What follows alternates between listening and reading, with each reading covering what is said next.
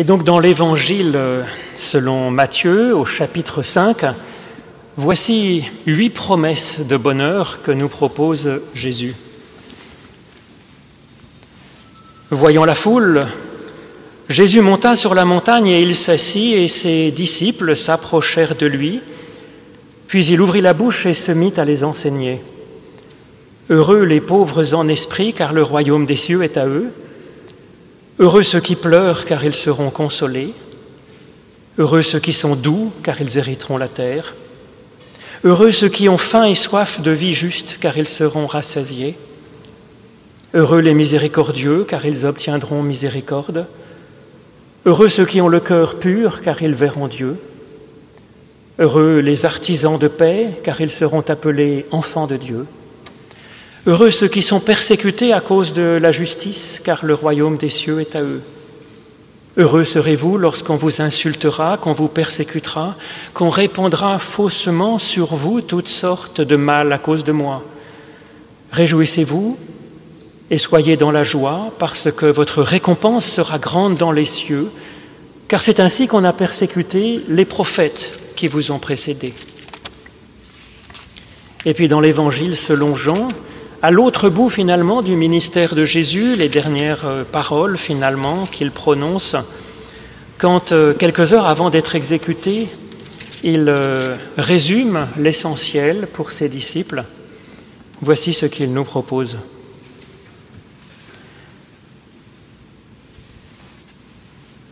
À partir du verset, du verset 12 au chapitre 15. Aimez-vous les uns les autres comme je vous ai aimé, nous dit Jésus. Il n'y a pour personne de plus grand amour que de donner sa vie pour ceux qu'il aime. Et vous êtes mes amis si vous faites ce que je vous dis. Je ne vous appelle plus seulement serviteur parce que le serviteur ne sait pas ce que fait son maître, mais je vous ai appelé ami parce que tout ce que j'ai appris de mon Père, je vous l'ai fait connaître. Alors ce n'est pas vous qui m'avez choisi, mais moi, je vous ai choisi et je vous ai établi afin que vous alliez et que vous portiez du fruit et que votre fruit demeure, pour que tout ce que vous demanderez au Père en mon nom, il vous le donne.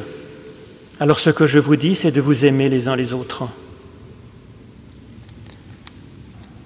Comme le Père m'a aimé, nous dit Jésus, moi aussi je vous ai aimé.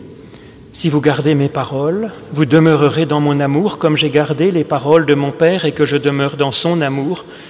Je vous ai parlé ainsi afin que ma joie soit en vous et que votre joie soit parfaite. Ô Éternel, ta parole est une lampe à mes pieds, une lumière sur le sentier de toute ma vie. Et je vous propose de chanter le psaume 36, donc toujours dans notre psautier français. Ô Seigneur, ta fidélité remplit les cieux donc les trois strophes de ce psaume 36.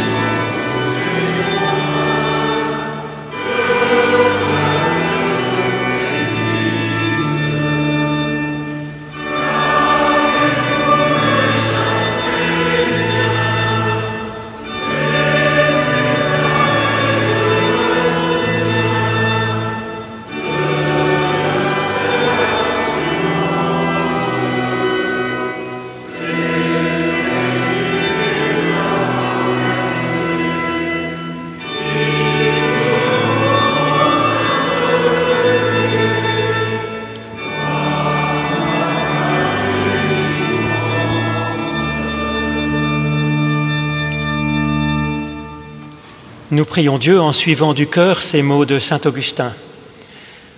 Seigneur mon Dieu, toi qui es la lumière des aveugles et la force des faibles, toi qui es aussi la lumière des voyants et la force des forts, sois attentif à ma prière, car sinon, où puis-je aller? À qui m'adresser? Ô mon Dieu, je suis comme une plante qui a besoin que tu l'arroses en, en, la favorisant de ta bénédiction. Seigneur, par ton amour, fais que je puisse découvrir les merveilles de ta parole que tu places au plus profond de moi.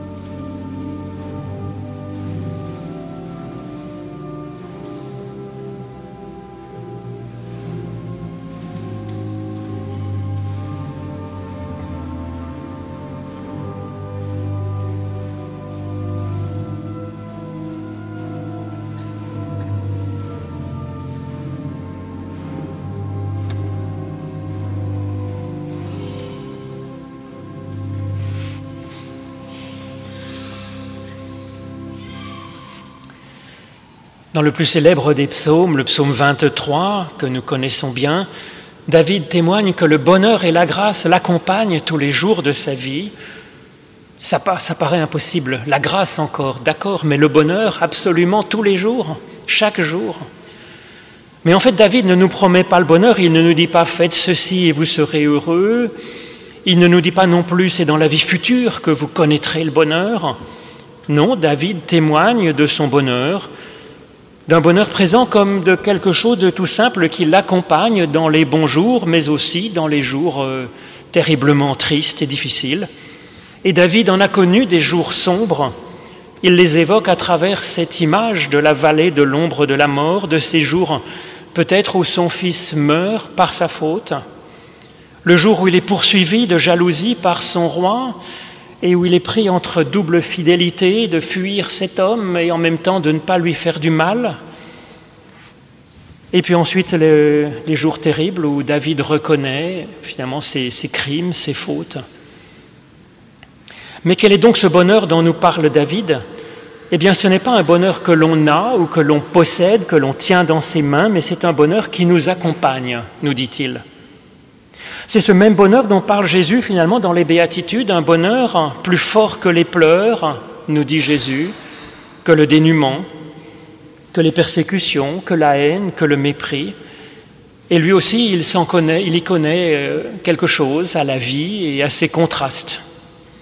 Ce bonheur, c'est une façon d'être qui permet de vivre comme une grâce, quel qu'en soit le jour, dans l'abondance, euh, quand la vie est un peu comme les verts paradis, les verts pâturages, les ruisseaux paisibles du paradis, nous dit David, mais aussi quand la vie est comme une vallée d'ombre et de mort, de toutes sortes de larmes. Alors bien entendu, il n'est pas question une seconde que le bonheur soit total à 100%, sans arrêt, mais il s'agit d'un bonheur qui existe quand même réellement, comme quelque chose d'un peu mystérieux qui est là, dans notre vie, parfois tout contre nous, parfois un peu plus enfoui, un peu plus caché, mais quand même réellement chaque jour, comme une personne vivante qui est auprès de nous et qui ne nous abandonne pas, qui nous accompagne, nous dit David. Alors c'est ce que proposent d'abord les textes bibliques quand ils parlent du bonheur, les psaumes 1er, les psaumes 23, les béatitudes de Jésus, c'est de chercher à faire ce qu'on pourrait appeler une sorte de confession de bonheur finalement. Comme nous faisons aussi, et c'est bien, je pense, une confession de foi et puis une confession des péchés, peut-être ces trois points de vue sur notre existence, sur notre être, sur le monde, sur la vie, ces trois points de vue se complètent bien et font une excellente base à notre prière quotidienne. Il y a dans cette triple confession de bonheur, de foi et de péché une démarche saine et féconde. Chaque soir, chaque dimanche ou au rythme que l'on veut, mais régulièrement, comme une hygiène de vie, il est bon de chercher à faire une amorce de confession de bonheur. Comme le corps et l'intelligence peuvent être musclés grâce à un exercice régulier, ni trop négligent, ni trop violent, la capacité à discerner les traces de ce bonheur qui nous accompagne, paraît-il, et puis à le vivre, à le savourer, à le ruminer, eh bien cela se travaille en fait. C'est la première des choses, à mon avis, pour apprendre à vivre. Mais encore, pour faire quelque chose de ce bonheur quand nous avons pu le discerner finalement dans notre être, dans notre vie. La réflexion, mais encore la prière est un bon lieu, je pense, pour faire ce travail. Car Dieu est spécialiste pour ouvrir nos yeux, pour ouvrir nos cœurs, et cela aide pour tendre la main à ce bonheur et à cette grâce qui nous accompagne effectivement, même si nous ne nous en rendions pas bien compte à première vue. Et souvent, prenant conscience de cette part de bonheur qui nous accompagne, nous reconnaissons que ce bonheur est une grâce, c'est-à-dire un don incroyable, surprenant, qui n'aurait pas lieu d'être finalement. C'est une grâce d'être capable d'être un peu heureux lorsque les circonstances ne suffisent absolument pas à l'expliquer, bien au contraire. C'est ce qui amène David à rendre grâce à Dieu pour son bonheur, et c'est là aussi quelque chose de fondamental pour nous peut-être. Dire que le bonheur est une grâce signifie que nous avons droit au bonheur, même si nous n'avons absolument rien fait pour le mériter. Nous n'avons rien fait pour le mériter et nous y avons droit quand même, en fait, au bonheur et à la joie. Et reconnaître que le bonheur est une grâce rend alors possible d'avoir de la gratitude, en fait. Gratitude envers euh, ce qu'est telle personne qui nous a accompagnés et qui, par un geste, une parole, une présence, a été ou qui est encore source de bonheur pour nous. C'est l'occasion de se réjouir et de goûter peut-être la vie autrement et de la goûter peut-être même vraiment.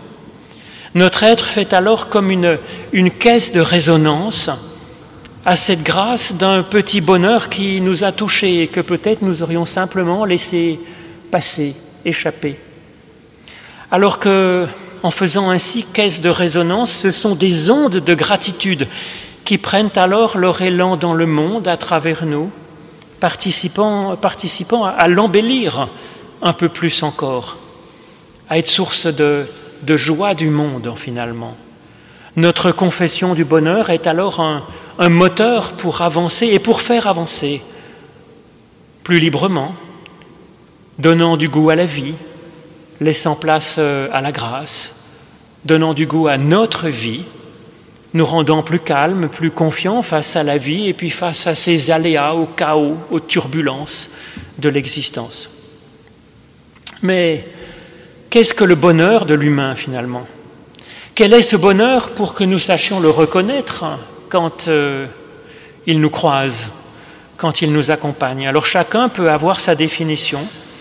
Il y a aussi des modes, des ambiances à telle ou telle époque on est influencé finalement par une certaine conception du bonheur. Et donc euh, c'est peut-être important de rechercher justement quel est pour nous, quel pourrait être pour nous le bonheur. La Bible nous propose de réfléchir sur cette question principalement à travers des récits, des prières et puis des réflexions très diverses. Mais une définition de ce qu'est le bonheur se trouve déjà dans le sens même des mots utilisés dans la Bible hébraïque pour parler du bonheur. En hébreu, deux mots sont utilisés pour dire le bonheur. D'abord, le premier mot, c'est ashrei, qui signifie être en marche en fait, qui a donc deux sens, être heureux et être en marche.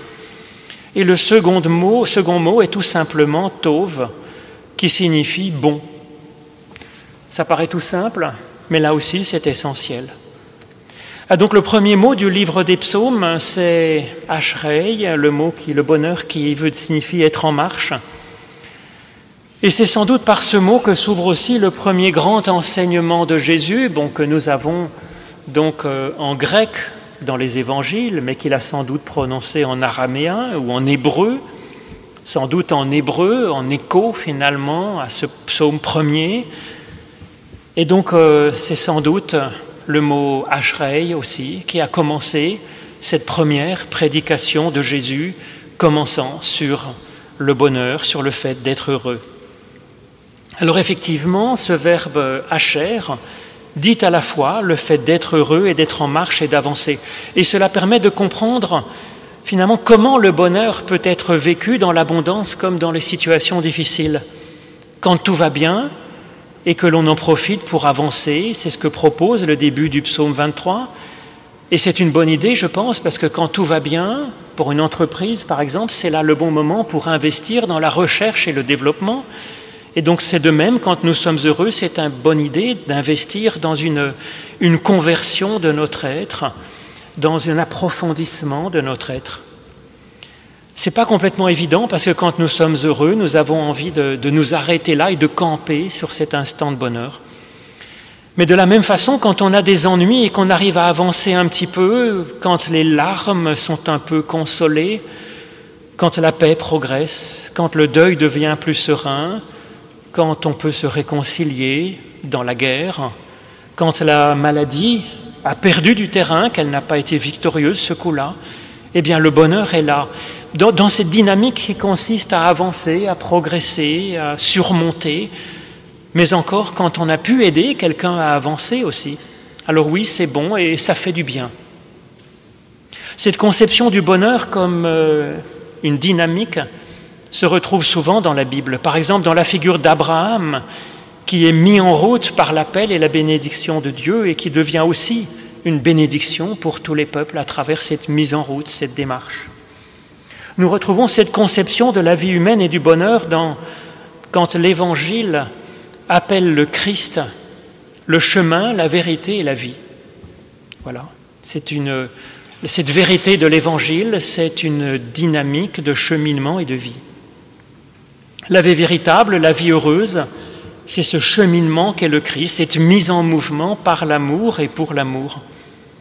David reconnaît en Dieu la source du mouvement, une force qui l'aide à avancer dans les jours d'abondance et dans les jours terribles.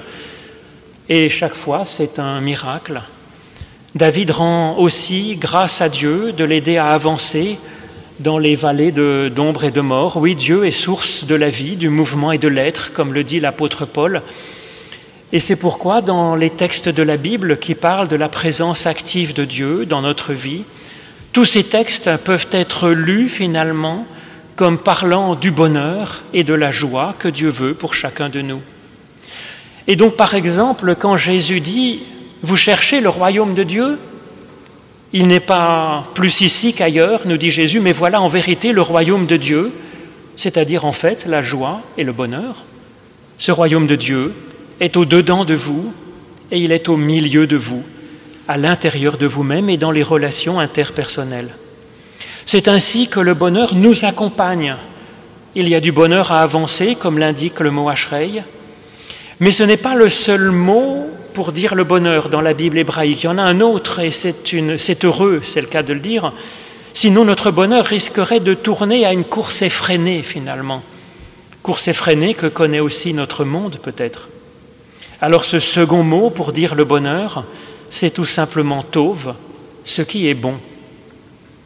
Alors il y a du bonheur dans le fait d'avancer, c'est vrai, de faire avancer, de créer, de se convertir, mais il existe un autre bonheur, celui du repos, pas au sens de la sieste, bien que oui aussi quand même, mais au sens du Shabbat biblique, ce jour où l'on s'arrête pour vivre et pour être heureux, pour goûter à ce bonheur, sans rien produire, ni même se déplacer. Dieu, nous dit la Genèse, a choisi de se reposer le septième jour après avoir créé pendant six jours. À la fin de chacune de ces six journées où une étape a été franchie, consacrée à faire avancer les choses de la part de Dieu, eh bien le récit nous dit que Dieu regarde et se réjouit de ce qui est bon. Oui, il y a là de la joie simplement à contempler. Et puis ensuite à vouloir avancer d'un pas de plus. Lui aussi fait alors une confession de bonheur, mais à l'aube du septième jour, Dieu s'arrête complètement et il dit c'est très bon. Il y a ainsi le bonheur d'avancer, le bonheur de faire avancer, et puis il y a aussi le bonheur d'être là et de s'arrêter pour voir, pour contempler ce qui est bon et pour le bénir. Il n'y a pas que du bon à voir, évidemment, dans la réalité, mais le bon existe. Et le propre de cet amour qu'est Dieu, de cette grâce, c'est de se réjouir de cette bonne part. Alors ça peut être ensuite pour essayer d'avancer, comme nous le propose le psaume 1, avec sa dynamique de purification, d'irrigation, de croissance, de fructification, mais ça peut être aussi simplement la contemplation qui s'arrête et qui se réjouit de tout le bon qui existe. Dans le psaume 139, David a cette louange que je trouve utile à méditer. Je te célèbre, Éternel, pour la merveille que je suis. Tes œuvres sont admirables et mon âme le reconnaît. Alors sur la carte de visite, on pourrait, notre carte de visite, on pourrait marquer la merveille que je suis. Ça poserait son, son homme, sa femme. Alors c'est vrai qu'il y a un vrai bonheur à avancer, il y a aussi un vrai bonheur dans le seul fait d'exister, de reconnaître la qualité extraordinaire de ce que nous sommes, qui nous est donné par grâce, indépendamment de tout mérite, nous sommes un être fragile, imparfait, arrogant, pécheur et tout ce qu'on veut, mais nous sommes aussi un être merveilleux. Et dans cette contemplation-là, il y a un bonheur et une joie à vivre. La personne qui a le plus de chance dans la vie, comme la personne la plus pauvre, la personne la plus handicapée, tous peuvent ainsi goûter ce bonheur-là. Et c'est peut-être la grâce de Dieu qui nous l'apprend, ce regard sur nous fondamental qui se réjouit sur la merveille que nous sommes, et celle de tous ces êtres qui nous entourent, oui, quelle merveille, eux aussi. Alors ce bonheur de la contemplation, c'est aussi, comme dans le psaume premier, un temps où on se laisse créer par Dieu comme un arbre enraciné près d'un cours d'eau qui grandit, et puis qui, dans son temps, a sa saison personnelle, pourra produire son fruit particulier. Et puis c'est aussi une occasion de se laisser purifier par Dieu, à l'image du vent qui fait s'envoler la paille et qui garde le bon grain. Voilà donc le bonheur selon la Bible, c'est d'avancer et de se réjouir de ce qui est bon. Et si nous existons aujourd'hui, c'est bien que nous avons reçu cette double grâce, cette double qualité de bonheur. Alors cela me rappelle finalement ce double bonheur dans la Bible hébraïque.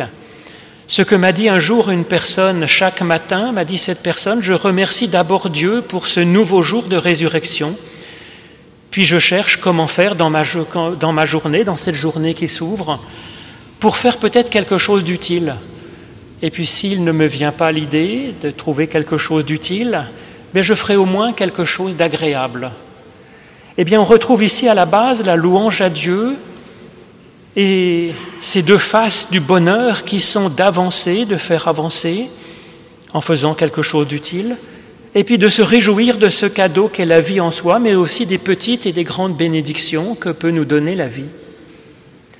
Il y a là, dans cette simple démarche, une bonne hygiène de vie, une façon eh bien, d'apprendre à entrer dans cette joie. Alors le psaume 23, il intègre dans un jeu de mots que seul l'hébreu permet ce double bonheur dans la résolution tranquille que David exprime en conclusion. Je reviendrai, j'habiterai dans la maison de l'Éternel jusqu'à la fin de mes jours. Alors les traductions en français, elles hésitent. Faut-il traduire je reviendrai?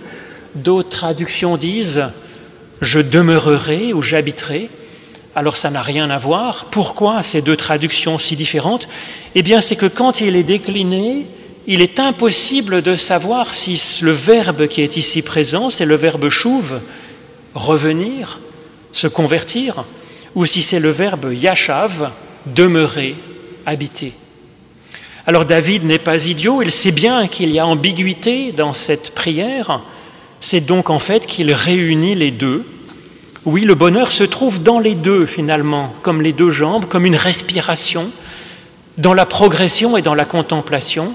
Et les deux en fait sont une grâce, un don. Un don au sens d'un cadeau qui nous est fait et un don au sens d'un talent, d'une capacité que nous avons. Ce bonheur de voir de voir avancer et de faire avancer peut-être les choses dans notre vie, le bonheur de se réjouir de ce qui est bon, Jésus nous propose de le conjuguer en fait au pluriel, pour soi aussi, mais peut-être pour d'autres et pour les autres. Il y a, il y a plus de bonheur, nous dit Jésus-Christ, à donner qu'à recevoir. Alors on rigole en disant que c'est le proverbe du boxeur qui dit qu'il y a plus de bonheur à donner des coups qu'à recevoir, mais en fait Jésus parle de, du don, effectivement, et des cadeaux qu'on peut recevoir. Et je pense que c'est tout, à fait, euh, tout à fait exact et nous le savons bien. C'est du sens pratique finalement. L'évangile selon Jean, il culmine sur cette idée-là dans ce que je vous ai lu, dans cet enseignement où Jésus résume l'essentiel pour ses disciples, où il évoque la joie à plusieurs reprises, et où il parle même de joie parfaite, de joie complète. Alors cela commence par un passage que je ne vous ai pas lu, qui est au chapitre 13, qui est bien connu, et pour que les disciples puissent peut-être mieux percuter finalement que ce n'est pas de la simple théologie abstraite, Jésus pose un geste euh, tout simple. Il lave les pieds de ses disciples, ce qui ne devait pas être du luxe à mon avis. Il explique ce geste comme un symbole du service que nous recevons de Dieu, des autres, et que nous pouvons rendre aux autres. Et Jésus leur dit, vous êtes heureux si vous savez cela et si vous le mettez en pratique. Si vous savez le service qui vous a précédé, le service qui est encore présent pour vous et que vous le mettez en pratique comme un service. Et un peu plus loin, nous l'avons entendu, Jésus parle encore du bonheur, mais en allant même jusqu'à la joie, et la joie complète. Et c'est une forme du bonheur encore plus profonde, plus éclatante, plus rayonnante, la joie. Et je terminerai là-dessus, sur ces paroles de Jésus, qui nous invitent à nous laisser construire finalement, créer par cette joie que Dieu nous donne. Comme le Père m'a aimé, nous dit Jésus, je vous ai aussi aimé, demeurez dans mon amour. Si vous gardez mes paroles, vous demeurerez dans mon amour, de même que j'ai gardé les paroles de mon Père et que je demeure dans son amour. Je vous ai dit ces choses afin que ma joie soit en vous et que votre joie soit parfaite. Amen.